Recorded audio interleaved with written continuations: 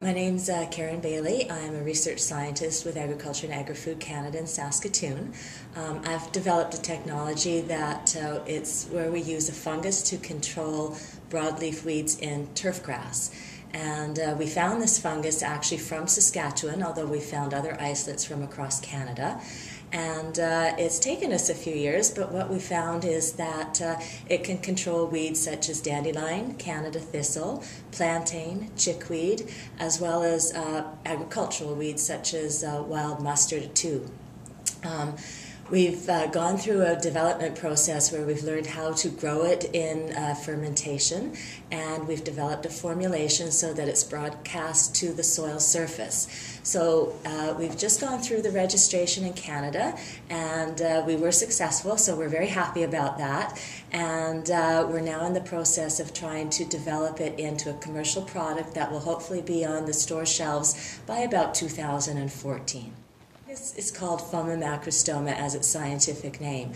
Um, this fungus is found everywhere, really, around the world. It's a, it's a common organism, and uh, what we what, when we did find it, it uh, causes um, the plants that are susceptible to turn white and uh, plants that aren't susceptible stay green.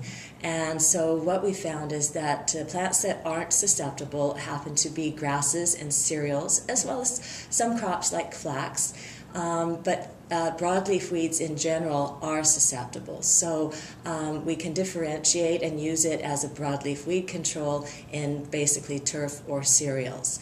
Um, we use this as a broadcast to the soil because the fungus has to go in through the root system.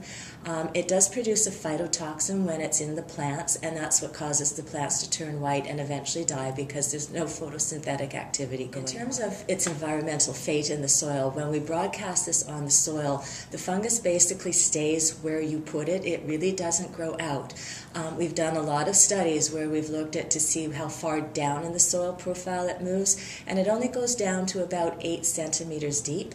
We've seen looked to see how far out from an edge where we place it it goes, and it only goes uh, well, it actually goes less than 30 centimeters from where we actually place it. So, so it's very safe. It doesn't move from where you're going to put it. So, if you're putting it on your lawn and broadcasting it like a fertilizer, you would use an edge guard so it doesn't go in your flower bed because some of your flowers could be susceptible. But if you've got that edge guard, you don't have to worry otherwise.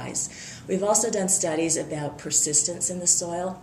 And uh, what we found is that the organism stays in the soil and is fairly active until about four months. So you get about four months of control out of it, and then it starts to decline. And a year later, we can't find any presence of the fungus in the soil. It's below our levels of detection. And we find that if we put susceptible crops in that soil a year later, they grow just fine, so there's no harmful effects. We've got the registration for um, application in turf grass right now, so that's a non-food use, okay? But um, we're now looking to start the research into seeing how we could use this in ag agriculture and whether we could adapt it for that.